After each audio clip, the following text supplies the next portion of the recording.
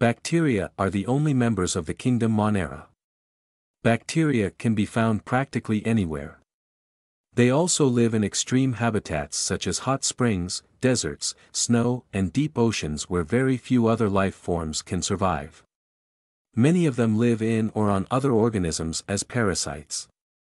Bacteria are grouped under four categories based on their shape, the spherical coccus, the rod-shaped bacillus, the comma-shaped vibrium and the spiral spirillum.